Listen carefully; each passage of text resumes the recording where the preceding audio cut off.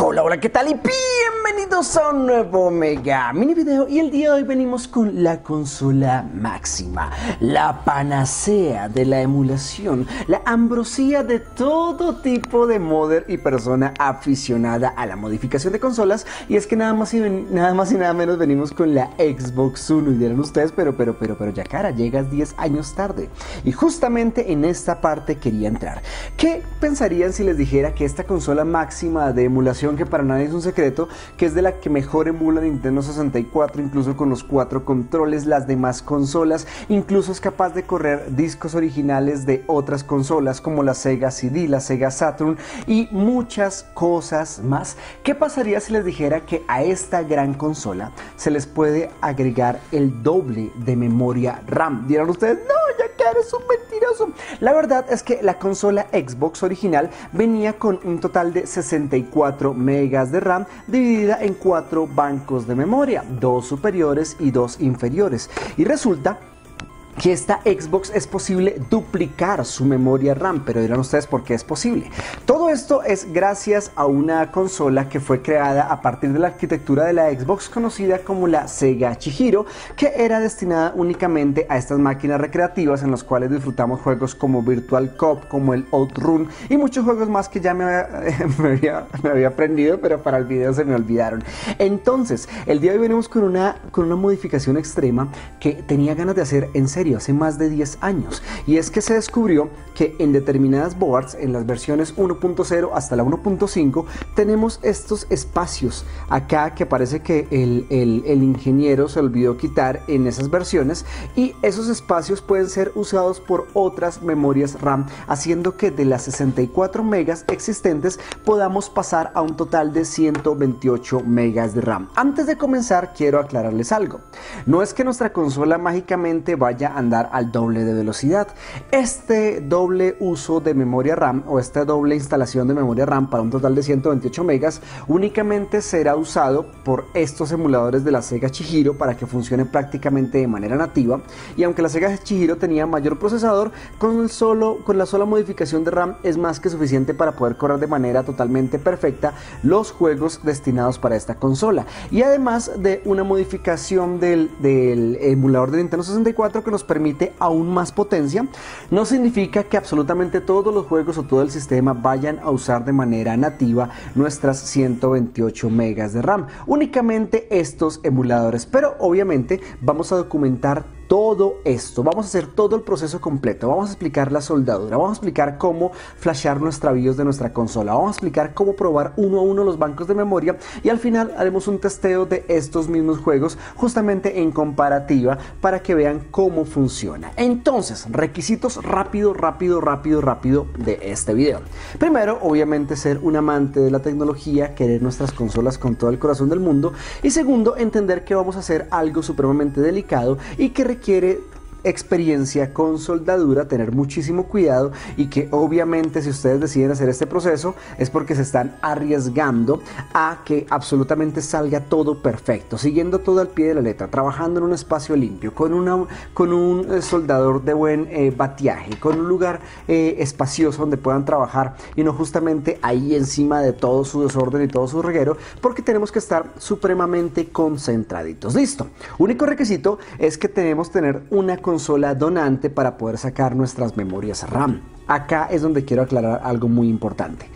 Tenemos eh, varias versiones de consolas, desde la 1.0 hasta la 1.6. Para los que ya medio conocen del tema, se dan cuenta que esta consola es una versión 1.0 y la reconocemos rápidamente porque la regleta de conexión de corriente es de solamente una línea comparada con las otras que vienen de dos líneas, aparte de todo nuestra BIOS y también nuestro conector de controles eh, frontales que venía en esta tarjetica adicional, ¿cierto?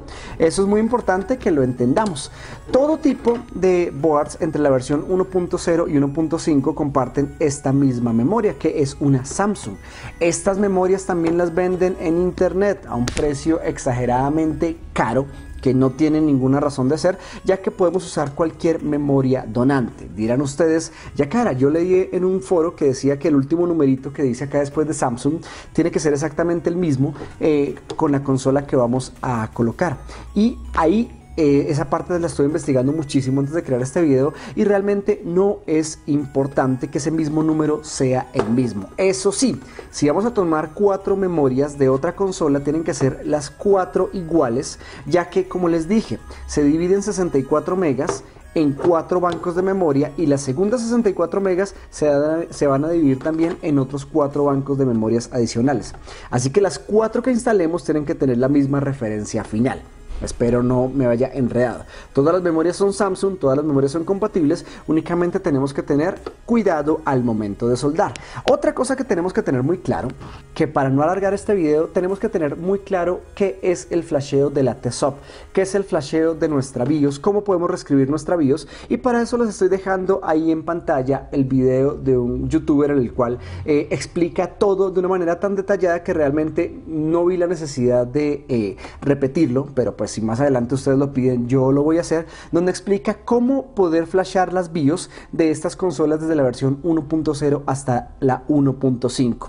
Preguntan ustedes, ¿se puede con chip externo? La respuesta rápida es sí, pero no. No debemos hacerlo con chip externo porque tenemos que realmente flashear la BIOS interna con una modificación de BIOS conocida como el XBlast que nos permite poder probar los bancos de memoria uno a uno y así tener totalmente presente cuál está funcionando bien. Y al final después de toda la instalación tenemos que instalar una int BIOS que es una BIOS modificada de nuestra consola que nos permite ejecutar todo a 128 megas, a 128 megas de memoria RAM y también a agrandar nuestro disco duro, que es un video que veremos más adelante. Entonces, requisito rápido, una consola donante con sus memorias que no estén partiditas las patitas y ahora que nuestra consola esté entre la versión 1.0 a la 1.5. Rápidamente voy a conectar mi consola y voy a verificar cuál versión de consola tengo. Recuerden que aunque se vean todas igualitas por fuera,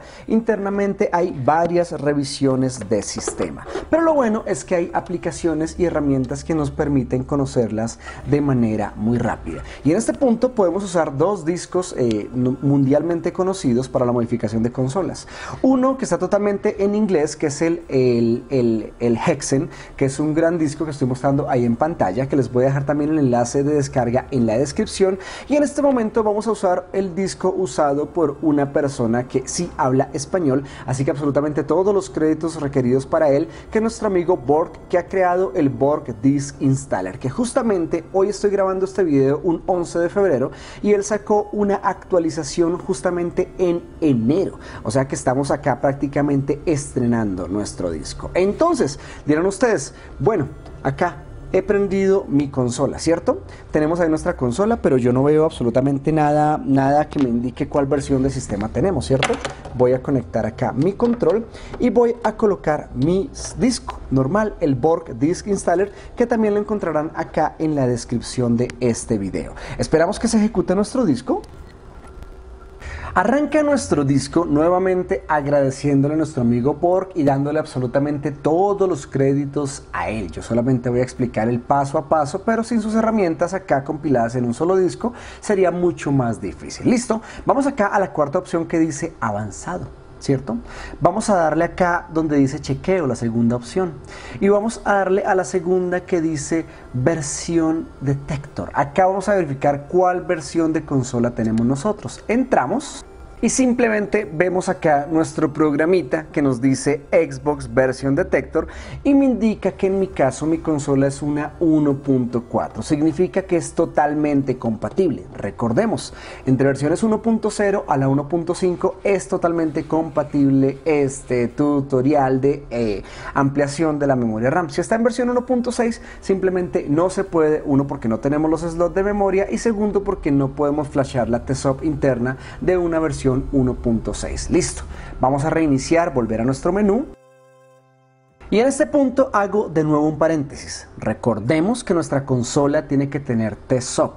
Nuestro TSOP lo hacemos mediante unos puentes que como les indiqué al comienzo, nuestro amigo del canal que estoy mostrando ha explicado los puntos necesarios para las versiones 1.0, para las versiones 1.5 y para las versiones 1.1 a la 1.4. Aquí también nos enseña a identificar qué tipo de BIOS tenemos, así que por favor denle una ojeada a ese video y luego regresen a este para poder ya tener lista su consola con TESOP, porque si, hicimos, si hiciéramos esto en este video nos queda como de 3 horas. Listo.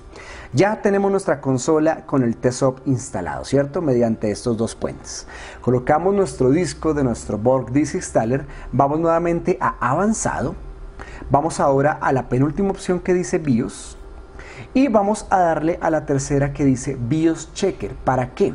Esto es para saber cuál es nuestra BIOS que tenemos. Vamos a entrar y vamos a identificar lo que aparece aquí arriba. En mi caso es una BIOS tipo WinBond tenemos estas otras marcas que estoy mostrando en pantalla, pero vamos únicamente a enfocarnos en la que les aparece a ustedes en pantalla. En mi caso es una WinBond, que es prácticamente la que se encuentra entre la 1.0 y la 1.4 de todas las consolas, ¿cierto? Ya con ese dato muy claro, por favor, no con el que me aparece a mí, sino con el que les aparece a ustedes en su pantalla, vamos a apuntarlo en un papelito y vamos a usar esa información para el siguiente paso que es flashar una BIOS adicional en nuestra consola. Así que vamos a para volver a nuestro menú.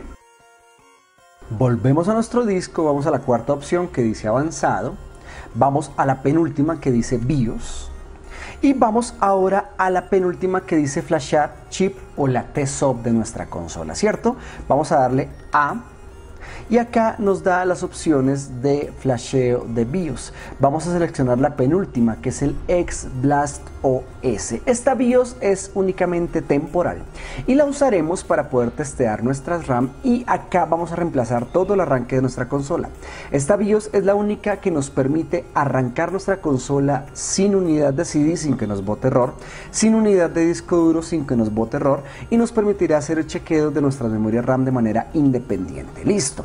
Seleccionamos el XBlast OS Acá hay más información que pueden leer que deja nuestro amigo Borg, pero acá vamos a enfocarnos en la opción que dice XBlacks en HD. Por favor, recordemos por última vez no usar nunca este XBlast en las versiones 1.6 porque simplemente no va a funcionar. No lo forcen. Vamos a entrar acá a XBlast en HD, que significa que vamos a instalar los archivos en el disco duro. Nuevamente nos dice uso exclusivo de las versiones 1.0 a la 1.5. Aceptamos. Le decimos que sí. Le damos a aceptar, le decimos que sí para lanzar nuestro XBlast OS. Nos da la opción de instalar el XBlast o regresar, obviamente le vamos a decir instalar XBlast y nos carga el XBlast OS. Listo. Acá nos da la opción de iniciar nuestra consola en la BIOS que ya tiene instalada, así que no vamos a tocar eso. Y un dato demasiado importante en este menú es que tienen que tener un control original para poder moverse dentro del menú. ¿Por qué? Porque el vendor ID de los controles genéricos no es compatible con el Xbox Blast ni con la modificación de BIOS. Así que si ustedes tratan de conectar un control genérico, un control pirata, un control copia, en este menú no les va a reconocer. Así que si no se les mueve, por favor no piensen que es el programa, no piensen que es su consola, únicamente el Xbox Blast o el X Blast únicamente es compatible con control original. Justamente este video se me retrasó prácticamente 3-4 días porque no un control original cerca a mí. Listo. En este Xbox Blast, en este momento lo estamos ejecutando desde el disco duro.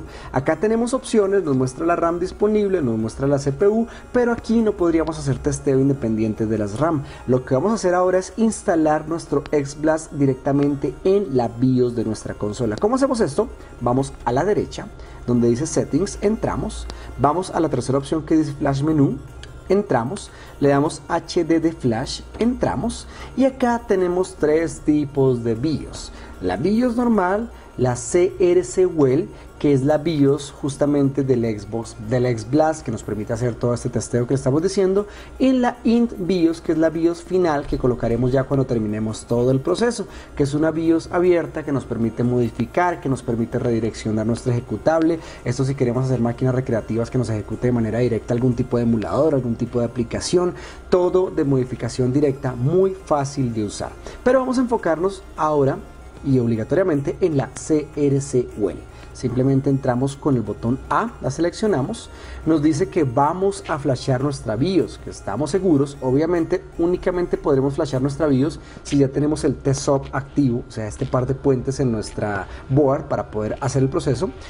Nos pide la siguiente, el siguiente combo de botones, mantener gatillo izquierdo, gatillo derecho, el botón de Start y el botón blanco. Si lo hicimos correctamente, empieza a flashar la BIOS, no tarda más de 30 segundos y nuestra consola automáticamente se apaga y se reinicia. En este punto, nuestra consola ya no va a leer CDs. En este punto nuestra consola ya no va a cargar el menú del Unleash X, del Evo X, del Xbox Media Center, no. En este punto nuestro XBlast cuando lo encendamos ya no aparecerá el logo de Xbox, ya no aparecerá nada. Únicamente se ejecutará de manera nativa desde el propio BIOS nuestro XBlast. Lo acabo de apagar y encender para que vean. Dirán ustedes, ¿dañé mi consola? No, este es el primer paso y más adelante desde acá sin necesidad de ningún tipo de disco de CD podemos reinstalar nuestro sistema original. Así que ya, con esto tenemos medio tutorial encima. Vamos a apagar nuestra consola, vamos a desconectar nuestro control en este momento y vamos a proceder con desmontarla. Para conveniencia de este tutorial ya le había quitado todos los tornillos a mi consola que como saben tenemos acá eh, eh, seis tornillos gigantotes por acá en la parte de abajo. ¿Cierto? Recuerden que debajo de las pegatinas tenemos dos, dos tornillos, pero si ya hicieron el test ya lo saben. Quitamos nuestra tapa. Vamos ahora a quitar nuestro disco duro, nuestra unidad de disco duro por este lado.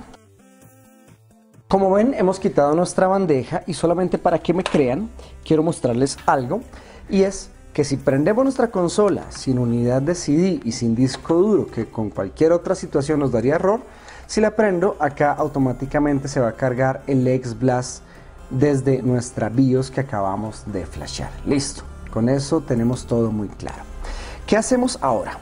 Vamos a apagar nuestra consola vamos a desmontar nuestra board. Por favor, no se confundan. Y esto las personas me dicen, pero ¿por qué exageras?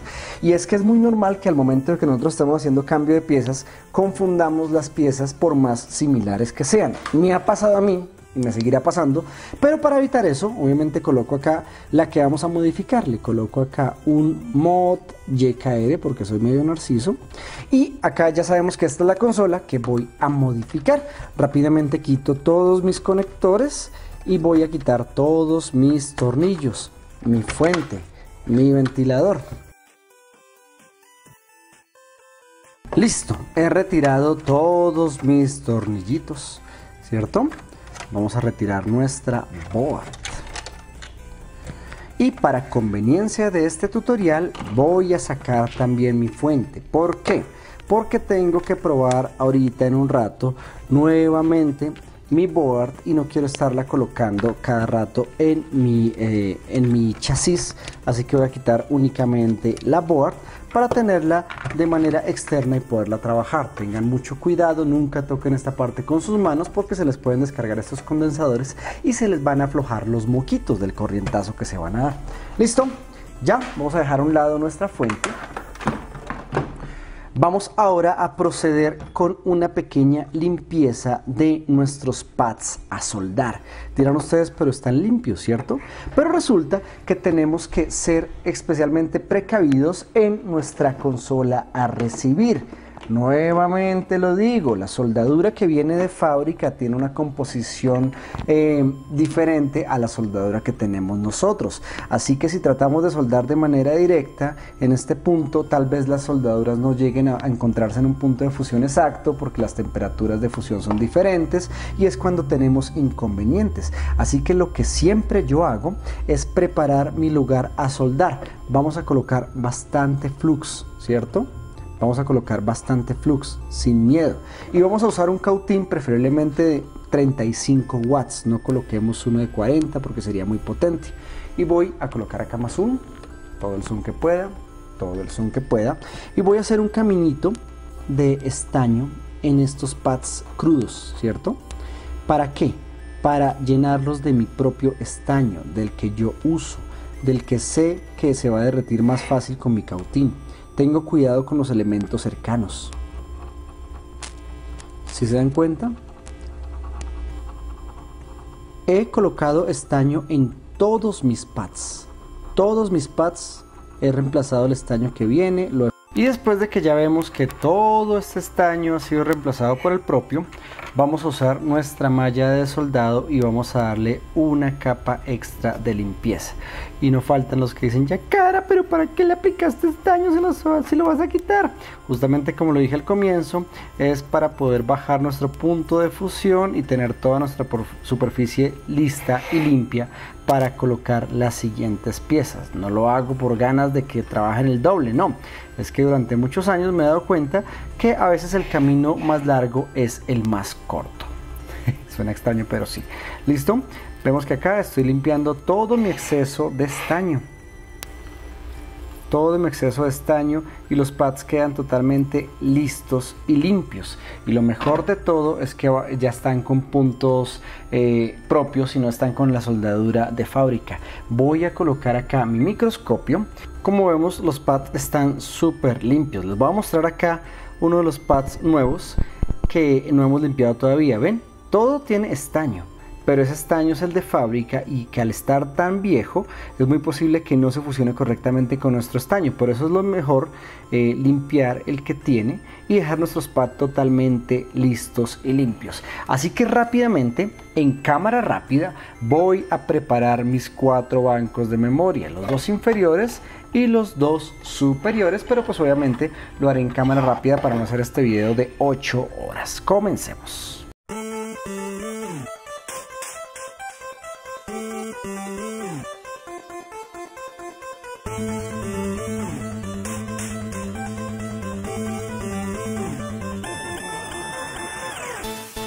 Obviamente vamos a limpiar bien nuestra pieza para eliminar cualquier tipo de eh, flux quemado.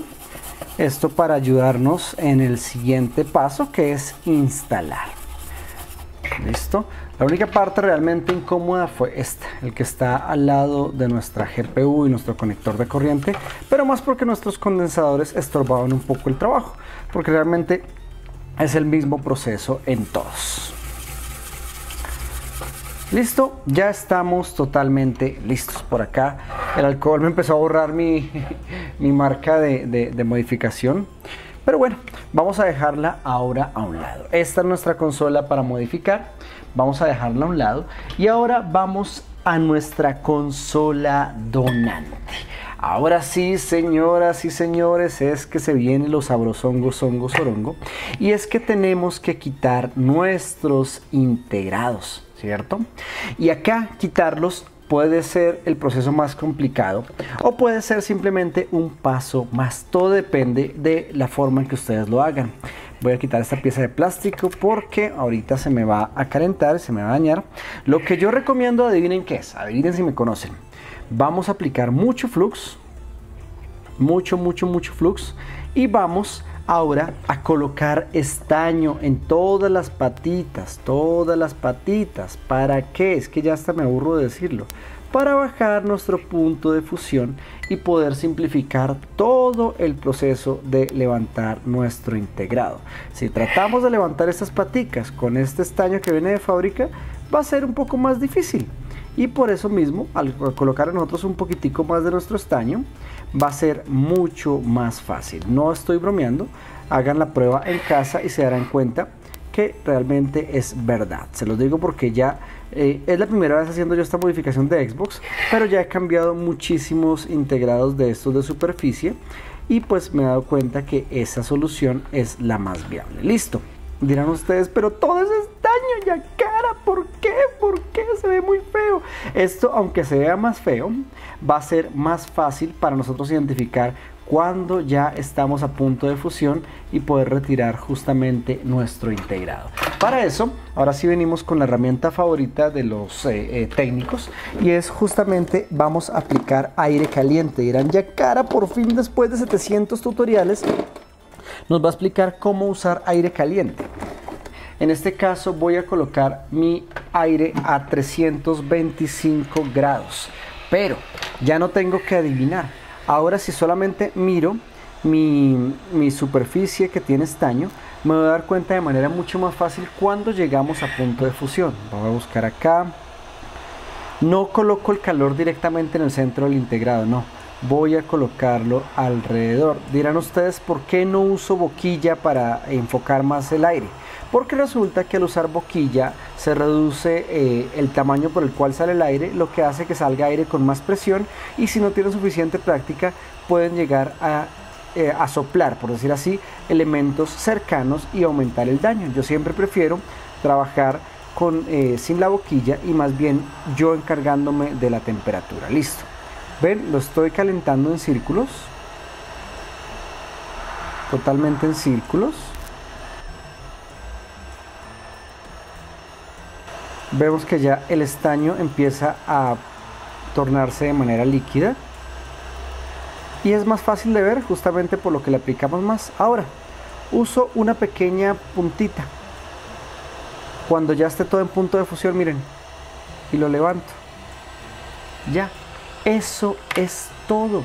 Así de fácil, así de simple. No batallé con, con mover cosas extrañas, ¿cierto? No hice cosas raras, no forcé ninguna patita, se me dobló.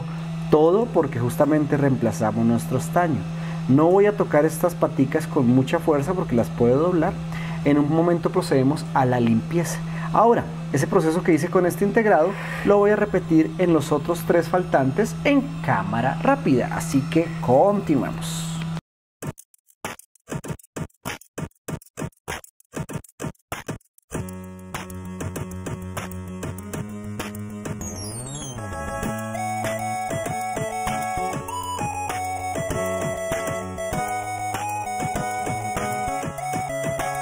Listo, ya tenemos acá nuestras piezas. Voy a colocar un pedacito de madera para no quemar mi mesa de trabajo. Siempre tengo mucho cuidado con los pines, con las patitas. ¿Por qué? Porque esas patitas si se doblan va a ser muy incómodo tratar de enderezarlas. Listo. Por acá se me prendió esto. Vamos a apagar acá. Ahora, ¿qué hago yo? Simplemente voy primero que todo a eliminar todo el exceso de la parte de abajo de mi estaño. Pero nunca toco directamente las patas el cautincito lo estoy tocando es, lo pongo solamente como quien dice en la parte de abajo y voy eliminando todo el residuo de estaño. Es un proceso lento que haremos con todo esto para eliminar nuestro residuo de estaño. ¿Cómo estoy haciendo?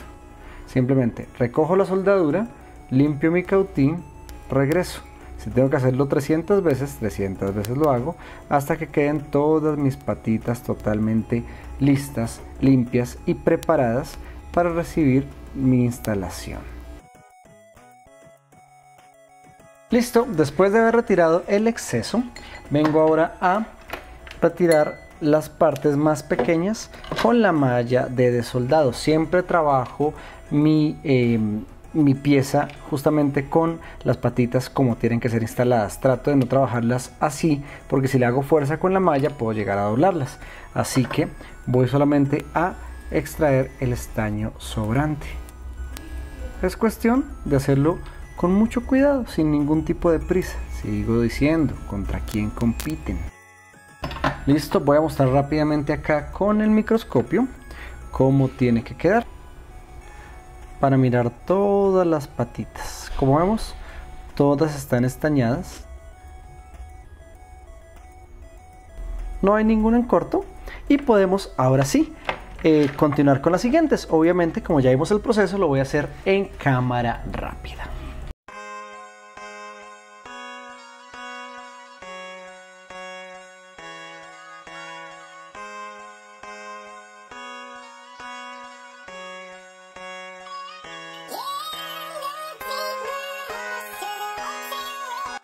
Y bueno, ya tenemos acá ahora sí ya listas nuestras memorias. Ya las limpiamos, nunca las trabajamos al revés para que no se nos partieran las patitas o que no se nos doblaran. Ahora solamente vamos a darle una última limpieza con alcohol isopropílico. La manera correcta es pongo mi dedo en el centro y limpio sin hacer demasiada fuerza. ¿Por qué apliqué bastante flux en mi, eh, bastante alcohol en mi mesa? Justamente para poder limpiar sin tener que eh, complicarme de aplicar de poquitos. Acá solamente limpio, limpio, limpio, limpio todo. Acá retiro el exceso de flux quemado que me haya quedado. Y siempre mantengo mis patitas sobre la mesa, lo cual hace que no se me vayan a doblar ni tenga ningún tipo de riesgo más adelante. Ahora con un poquito de papel eh, higiénico, papel caquita como le digo yo, solamente vamos a colocar nuestras piecitas, ¿sí? Y las secamos así, normal normal, con este mismo trapo, con este mismo papel, limpio mi mesa de trabajo y listo. Dejamos acá que se evapore el, el, restante, nunca le hago con fuerza, nunca le limpio las patas, no, solamente dejo que solito el papel absorba el exceso de alcohol isopropílico y ya está totalmente listo.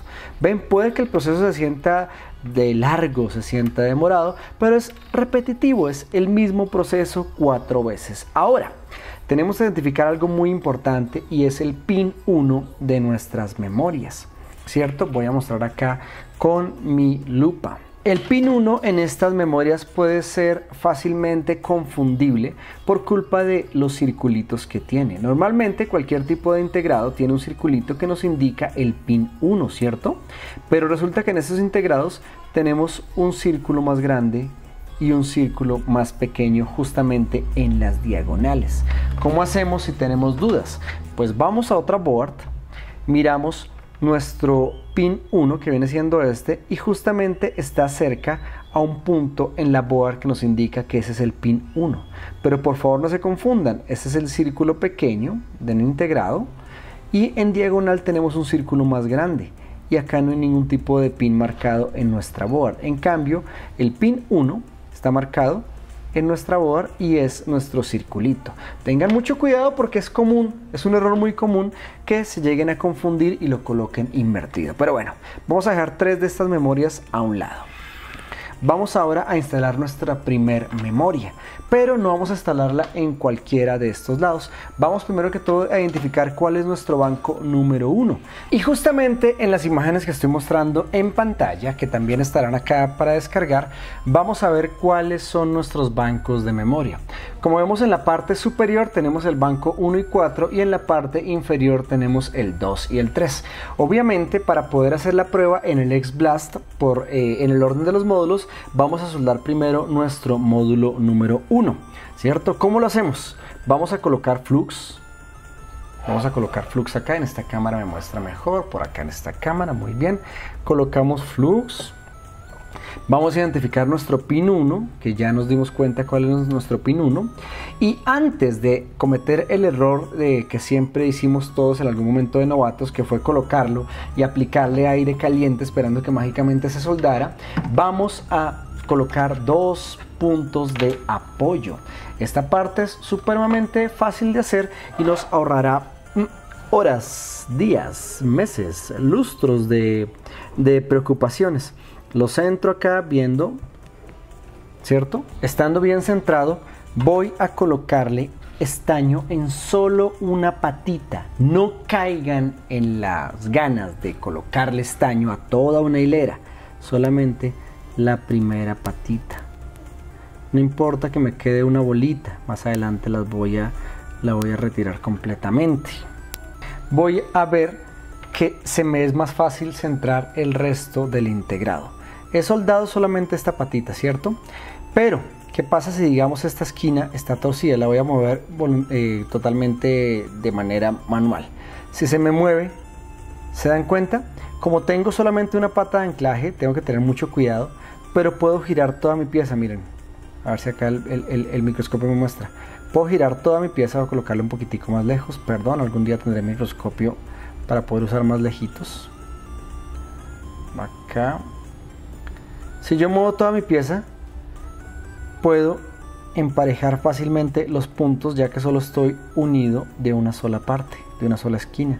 Nunca forzo, fuerzo este movimiento porque como estoy solo agarrado de una patita, puedo partirla.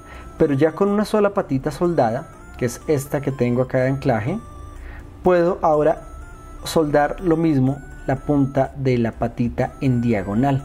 O sea, la que está totalmente en el sentido contrario. Soldo esa patita rápidamente.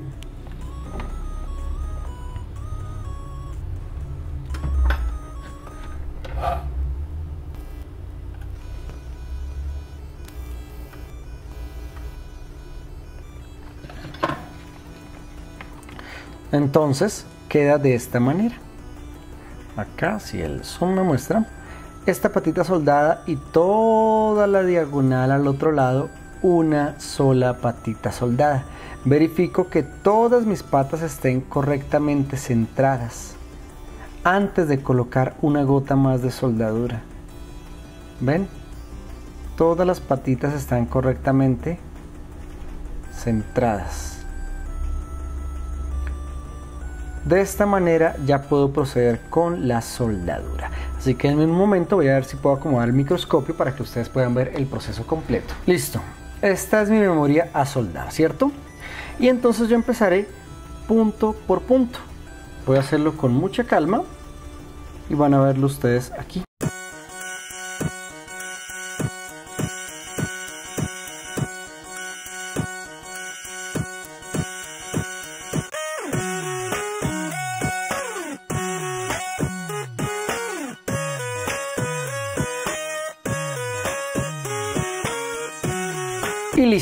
Aquí le di un par de vueltas verificando todos los pines y aprovechando pues que tengo esta, esta mini lupita voy a darle acá una ojeada a los puntos.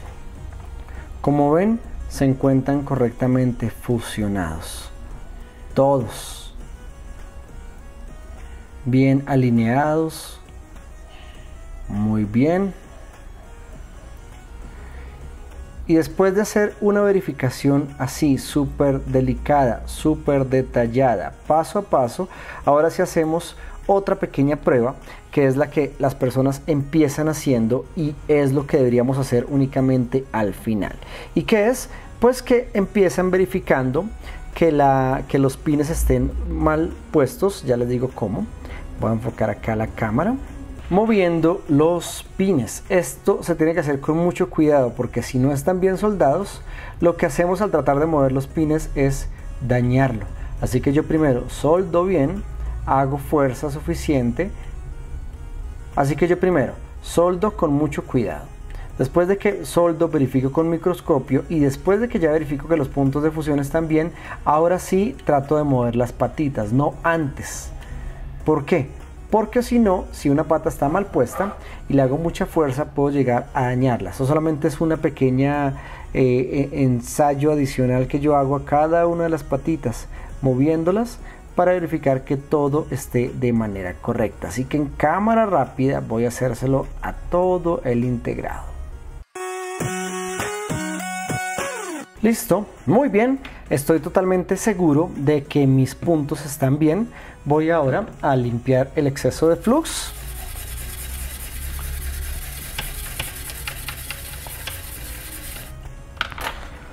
Seco el exceso de alcohol. Y ya, ahora sí, estoy totalmente preparado para hacer una última revisión, verificando que no tengamos ningún metal entre las patas, que no tengamos tampoco una bola de estaño, que no tengamos ningún cablecito, ningún residuo. ¿Para qué? Para que nuestro proceso de, ensayar sea directo y no estemos haciendo pruebas y soldar, pruebas, soldar y cayendo en la trampa de aplicar aire caliente pensando que se va a solucionar todo mágicamente. Acá estamos viendo justamente un error. Vemos que hay una patita unida se dieron cuenta antes de limpiarlo, no me había dado cuenta. Ahora después de limpiarlo es que si caí en cuenta, simplemente vamos a corregir esa patita.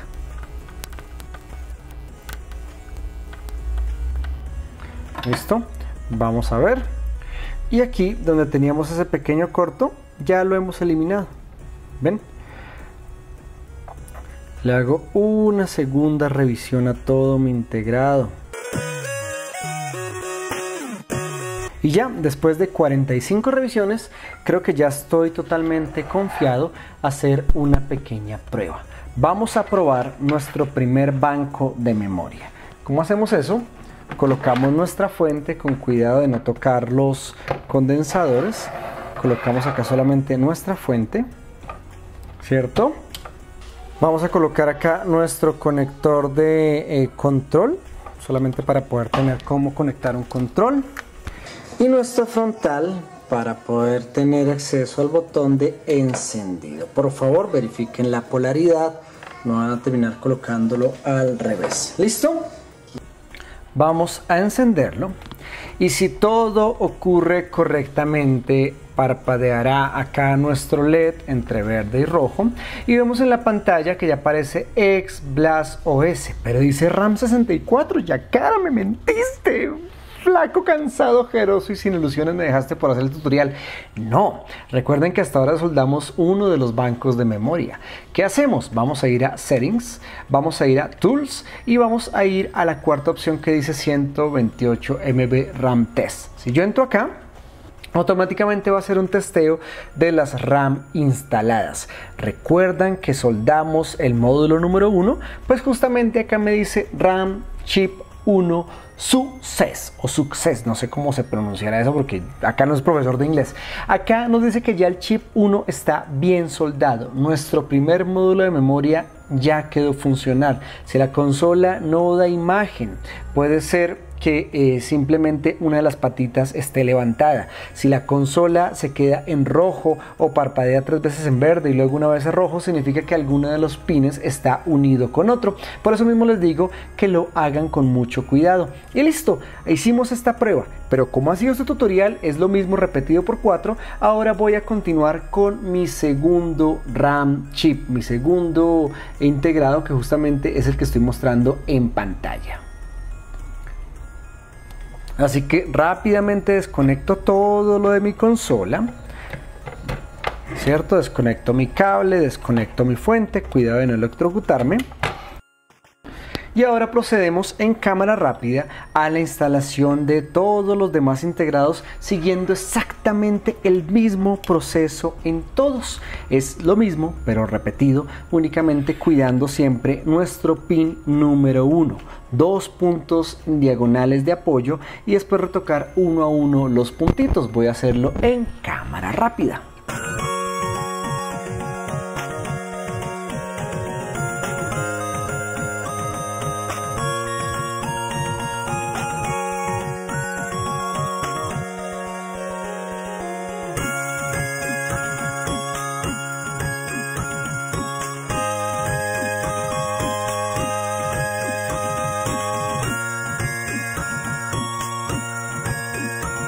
Vemos acá nuestro segundo chip, Settings, Tools, RAM Test, Chip 1 Success, Chip 2 Success, falta el 3 y el 4. Rápidamente vamos a hacerlos.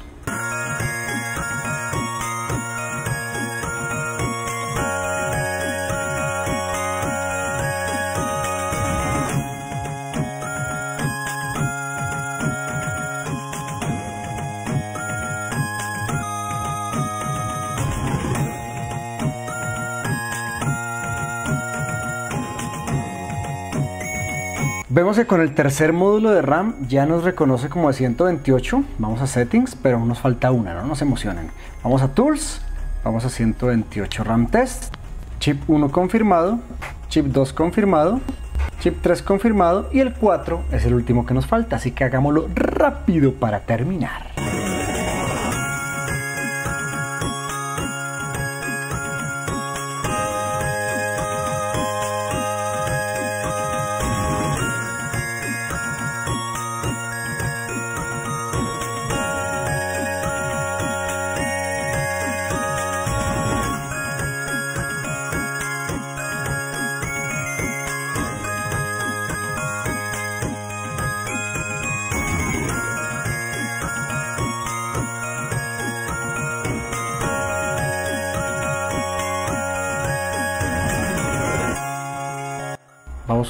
Última, última, última prueba.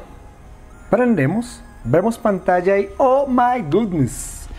Vamos a settings, vamos a tools, vamos a 128 RAM test.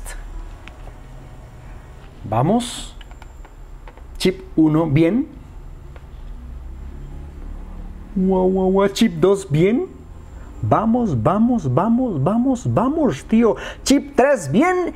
Y hágame feliz, hágame sabroso. 4 RAM, chip suceso o suceso o suceso o como sea, mejor dicho, sirvieron los cuatro integrados, ya quedaron soldados, ya funciona genial, me siento happy, ya quedó súper bien, súper bien, súper bien. ¿Qué hacemos? Ya que estamos acá, vamos ahora a flashar la int BIOS. La int BIOS la tenemos que flashar obviamente para que nos reconozca los 128 megas. En este momento solo lo estábamos testeando, ahora sí los vamos a aplicar. Voy con el botón B únicamente si ya los cuatro bancos han funcionado. Recomiendo, apaguen su consola, toquen así por encimita los integrados, háganle un poquito de fuerza con los dedos, manipúlenlos, muévanlos, de tal manera que eh, cuando lo vayan a armar sepan que quedó funcionando. ¿Cómo así? Voy a ver acá, voy a agarrar con mis dedos, muevo mis integrados, los toco, les hago fuerza. Los dos que instalé por la parte de arriba, los muevo, ¿cierto? Les toco por acá. En la parte de abajo busco los dos que instalé. También los toco, los muevo, les pego, los fuerzo como si normalmente fueran a estar en contacto al momento de ensamblarlo, al momento de armarlo. ¿Para qué hago esto? Para saber que mi soldadura no quedó por ahí débil o hay un puntico que está haciendo un falso positivo y cuando lo vayamos a armar tengamos pesadillas, ¿cierto? Los manipulo, los forzo un poquito y vengo otra vez y prendo mi consola, botón de encendido. Vemos acá nuestra pantalla y ya tenemos nuestros 128 eh, megas. Vamos a Tools, otra vez RAM Test. Si están en su casita van a escuchar que se escucha por ahí un cristal.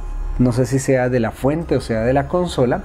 Vamos acá, chip 1 bien, chip 2 súper bien, chip 3 vamos ultra bien y el chip número 4 hiper mega super duper bien quedó. Ahora sí, si todo está ya correcto, ya ahora sí vamos a apagar nuestra consola. Si queremos podemos darle B, le damos Power Menú y le decimos Power Off.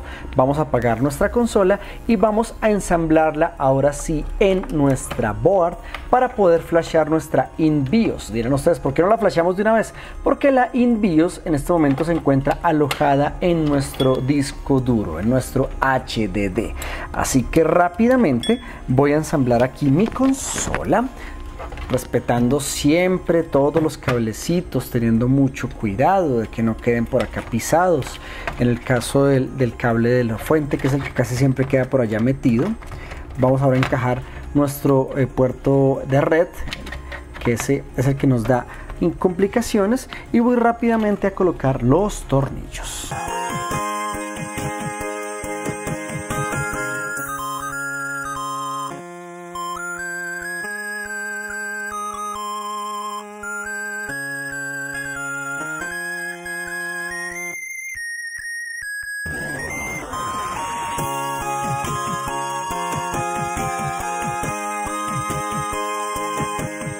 Listo, vemos que ya quedaron todos nuestros tornillos.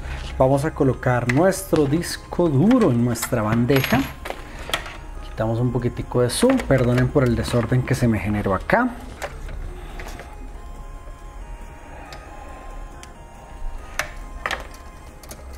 Primero conecto mi correa de datos, ¿cierto? Después mi alimentación de mi bandeja. Después encajo mi eh, bandeja.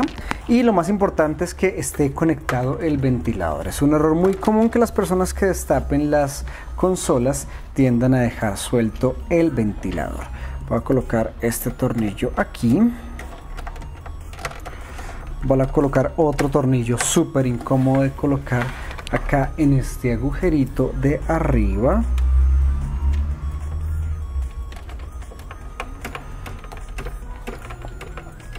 Y ahora venimos con nuestro disco duro, que tiene que entrar primero el cablecito por acá. Luego lo encajamos. Lo pasamos por acá, por acá, por acá. Colocamos nuestra correa.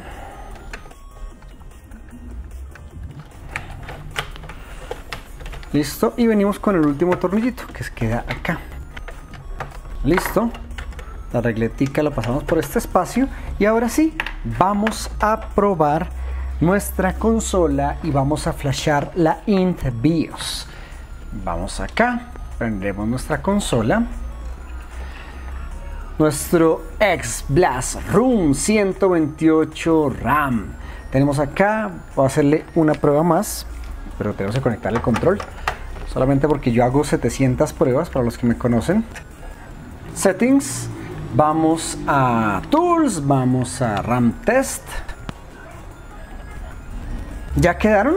Simplemente con B regresamos, con B regresamos, vamos a Flash Menú, vamos a HD de Flash, vamos a colocar ahora la tercera opción, la Int BIOS. Simplemente entramos, nos pide botones de confirmación, LR Start y botón blanco durante un par de segundos y ya automáticamente empieza a reflashar nuestra BIOS, en este caso con la Int BIOS, que ya es compatible con discos duros de más de 160 GB, que era la limitación inicial.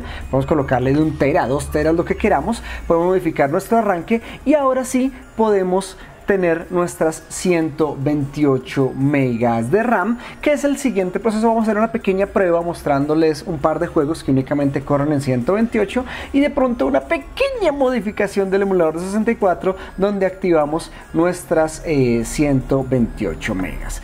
Y ahora sí, voy a colocar las tapas, voy a conseguir los jueguitos que piden las 128 megas de RAM y vamos a repetir nuestras pruebas para que vean que quedó totalmente funcional. Esto lo vamos a hacer súper apresurados. ¿Cómo sería esto? Súper de fan, súper chao, súper...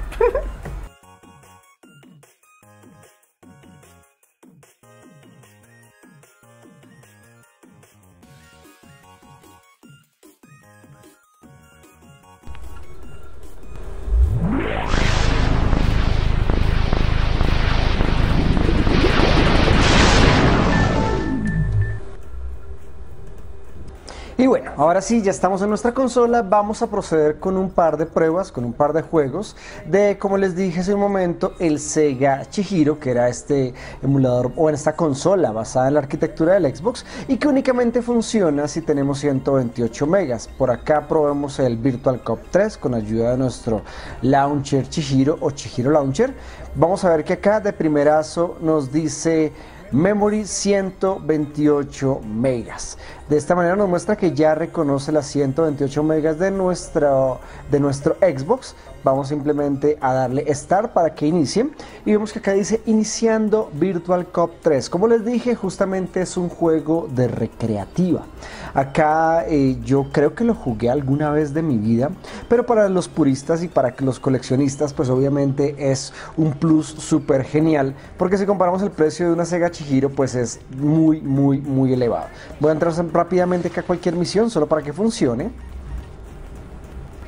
Y listo, vemos que acá podemos emular nuestro, nuestro Gunfire, nuestra, nuestra pistola, por decir así, justamente con, la, con el análogo, sin ningún tipo de complicaciones.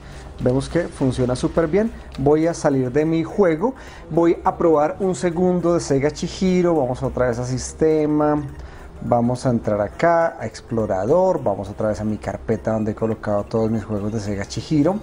Vamos a entrar al Outrun, que también es un juego de esos clásicos, que ese sí lo jugué desde su primera versión en 2D. Vamos a entrar rápidamente.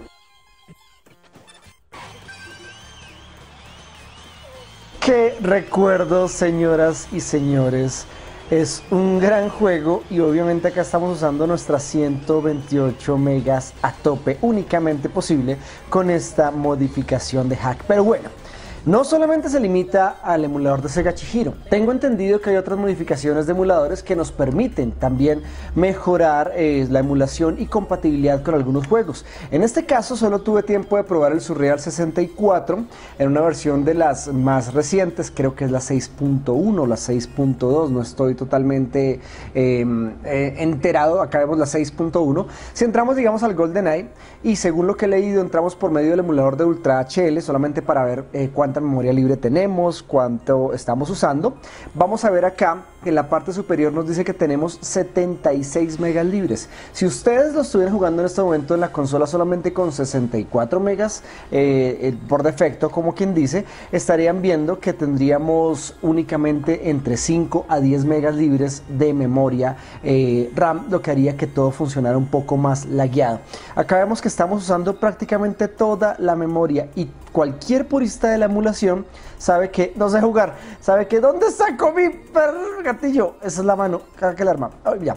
Cualquier purista de la emulación saben que este Golden Eye o 007 es de esos juegos que siempre han dado problemas al momento de la emulación y acá está corriendo totalmente fluido. Tenemos 34 FPS estable, vemos que hay unos poquitos bajonazos, pero que funciona de manera muy buena. Y tengo entendido que se pueden hacer aún mayores modificaciones, pero que para el momento de la grabación de este video ya me tardé demasiado grabando las partes de soldar y justamente me enfoqué en lo que era lo fácil de entender. Vamos rápidamente a ir a uno de mis juegos favoritos, Mario Kart 64, voy a colocarlo también con el Ultra HL. Ah, qué recuerdos, Dios mío, Dios mío, mi infancia, mi infancia, en serio, mi adolescencia, mi joven adultez, mi toda mi maldita vida. Me encanta este juego, jugarlo en cuatro personas es genial en una Xbox también. Y vemos que esos pequeños bajonacitos que se sentían cuando el emulador estaba normal, acá ni se sienten. Yo sé que este juego se puede emular prácticamente hasta en un celular, en cualquier lado del mundo, pero acá vemos que estamos sacándole provecho a una consola que nos permite conectar cuatro controles y jugar prácticamente de manera semi-nativa nuestro eh, gran emulador. En pantalla, mientras estoy acá jugando, manqueando como le digan, estoy mostrando un post de alguien que por lo visto se tuvo el tiempo suficiente de hacer las pruebas necesarias para ver cuáles son los cambios de la, de la, o los beneficios que obtenemos cuando tenemos las 128 megas en nuestra consola. Así que como vemos acá, vemos que el MAME también tiene modificaciones, vemos que algunos juegos también, vemos que el homebrew conocido como el HMBS o el Xbox Media Center también tiene beneficios, también permite correr videos en formato 720p y muchas cosas más.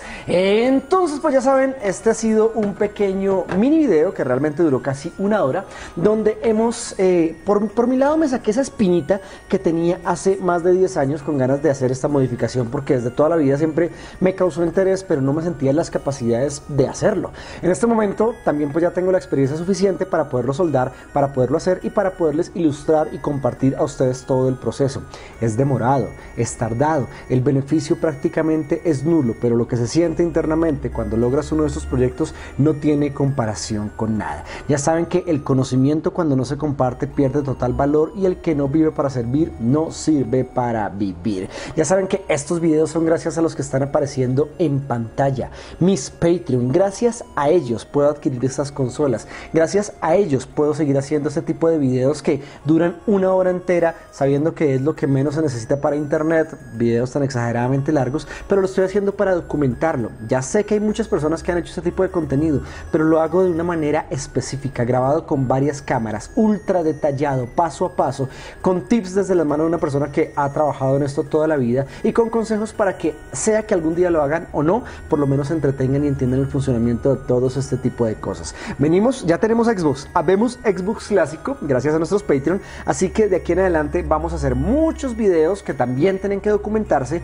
cambiar el disco duro sin necesidad de chip, colocarle puerto HDMI, colocarle disco duro en formato SATA, colocarle eh, Wi-Fi a nuestro Xbox, colocarle una pantallita externa para ver el funcionamiento del chip y otras funciones y muchas modificaciones más. Eh, pues, mejorar la salida de video para tener 480 nativos o para llegar hasta un 4, 720 escalado. En fin, esta consola se permite eh, hacerle muchísimas cosas. Ya saben que todo esto es gracias a ustedes. Espero que por favor me sigan en mis redes sociales, se suscriban al canal, activen la campanita y me digan cualquier tipo de comentario, consejo o recomendación. Ya saben, si les gustó este video, nos vemos en lo próximo. Así que, chao, chao.